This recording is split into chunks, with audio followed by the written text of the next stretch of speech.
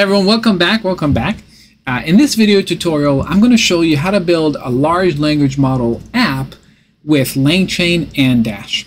Now this language model app is kind of cool because it takes the instructions from the human user and it takes a video uh, link, whichever video on YouTube you want to give it, and it will automatically summarize the video based on the script of the, transcript of the video and the user's instructions. So this video is about labneh. It's about, I don't know, four or five minutes long. But instead of watching the whole video, I just said, hey, large language model, uh, GPT, OpenAI 4.0, um, how do I make labneh? So it, take, it looks at the script and it gives me all these five steps that um, the creator of the video uh, talks about uh, within the video.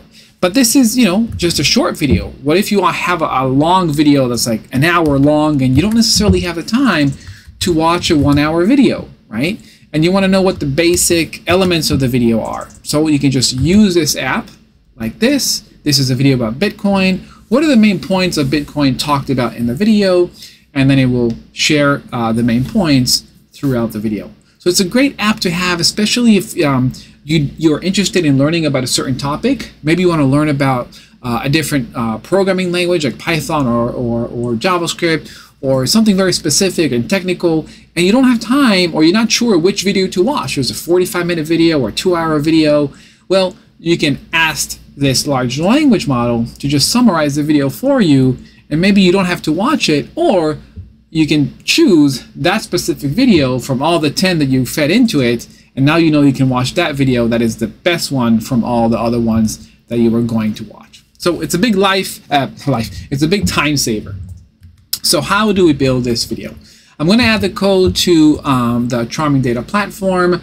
Um, but regardless uh, of the code, I highly recommend and would love for you to join the Charming Data platform. It's free, it's public, it's open, it's for everybody. This is really a place where we come together as a community and we work on monthly projects together. These projects are Python, data visualization, and AI large language model projects. And the goal of these projects is for you to build your uh, career uh, portfolio of all these apps and projects that you are um, that you are learning and building together. All right, so back to the app and back to the code. So how do we do this? The first thing you want to do right here, it's only about 50 lines of code, 55 lines of code. In the first section, we're just importing the libraries, right? All these libraries are going to be used inside our app. Then we are going to find our the path for our env file, which is right here. And in our .env file, we have this line of uh, uh, script inside of it. And I inserted my own OpenAI token and we are using this to grab our OpenAI API key. Once we have our API key, now we can use Chat OpenAI and this GPT-4o model. And this is going to be our large language model. Then we're going to prompt the system. Then we're going to prompt the large language model, like prepare like the brain, right? We're going to say you're an expert at summarizing video transcripts to help others understand the value of the video. And we're going to give it a video link follow the instructions of the user, of the human. And then the human input is going to be right here. So we're going to have two variables, the video link and the input. When we invoke the chain, when we invoke the large language model, we're going to have to feed it these two variables. And then we um, put everything in one chain, the prompt, the large language model, the output parser, which is really just saying output the, the um, show the output in a, in a string format and then we have our dash layout, you know, the title, the subtitle, as you can see here, the title, the subtitle, the text area, the input field for the YouTube video right here, text area, the input field, a button, and the markdown here is where we are going to show the result, like right here.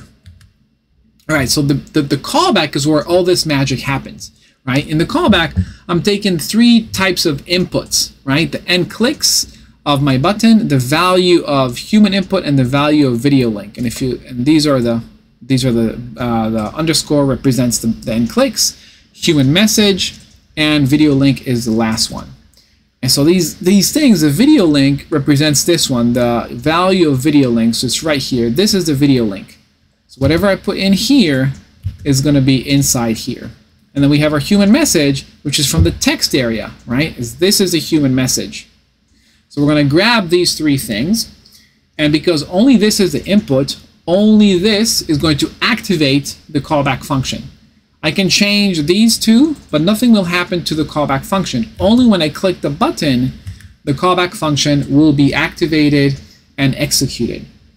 So first we're going to say if the human message, right, this value, the human message right here, if this is empty, there's nothing in there, then don't update, like don't do anything for the callback.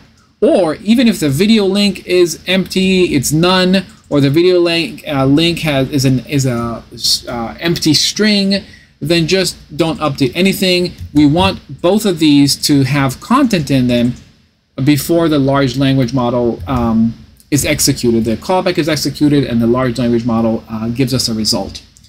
So this is right the section what we're talking about. We're going to use the YouTube loader module that we imported right here from LangChain community, which loads documentation into our app large language model. We're going to load the video link. Remember, the video link is what we grab from this value right here, which is our video link. So we're going to take, uh, this is any YouTube link, right? We're going to take the YouTube link, we're going to load it like a document loader into our large language model, and then we're going to spit out the transcript, which is the page content. You can get more information. You can get the title. This, this was the last title, How to Make Lavene. Um, you can take uh, you can take different different types of titles. You can take published date. And you can get the author, the the length, and the view count. So you can get a lot of information if you want. We just want the page content, which is the transcript of the video. Now we have everything that we need to invoke our chain. So we're going to feed into the video link. We're going to feed right here the video link. We're going to feed it the transcript like that. And in the input, we're going to feed it the human message, which is this one right here. And then we have a response that we spit out. We're returning this response to the children property of our markdown. So this is why it's returned in a markdown format. And that is it. Give it a shot. Just copy this code uh, to your own computer. Make sure you create your env file and insert your own API key. And this app should work for you if you have all the correct libraries installed. Let me know how it goes for you. I hope you can use this app to summarize one hour, two hour, three hour videos. Um, it's really, really helpful in saving you some time. All right, everybody. Hope you enjoyed. Uh, if you did, give it a like, uh, subscribe to the channel, join me on Charming Data to do uh, to do projects together, and always remember we're better together, so help each other out.